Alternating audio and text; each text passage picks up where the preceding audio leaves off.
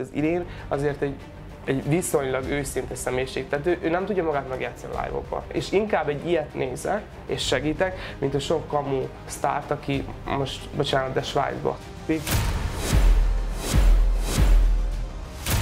Most egyfajtában TikTokon azzal támadnak be, hogy hogy tudok úgy lefeküdni, hogy én kihasználtam egy ilyen beteg embert, és nagyon érdekes, hogy amikor kinevették, és mindenki lejárató videókat csinál róla, akkor senki nem állt mellé. Szerintem véget ért a karrierje.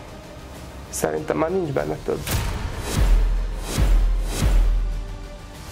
Az egyet jobbra, kettőt balra így jön ki a kör, az neked köszönhető? Az a, a producerrel közösen köszönhető. Engedd meg, hogy gratuláljak az egész Blik és az összes nézők nevében.